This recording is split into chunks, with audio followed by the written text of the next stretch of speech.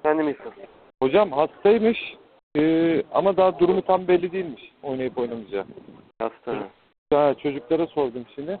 Hı. Hastaymış. Yani tam herhalde maç saatine göre, durumuna göre herhalde şey yapacaklar. Ama Anladım. oynamama ihtimali de varmış ya. Tamam. Şey, İskender Oynuyor. oynuyor tamam.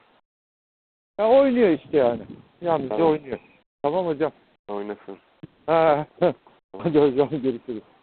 Hadi.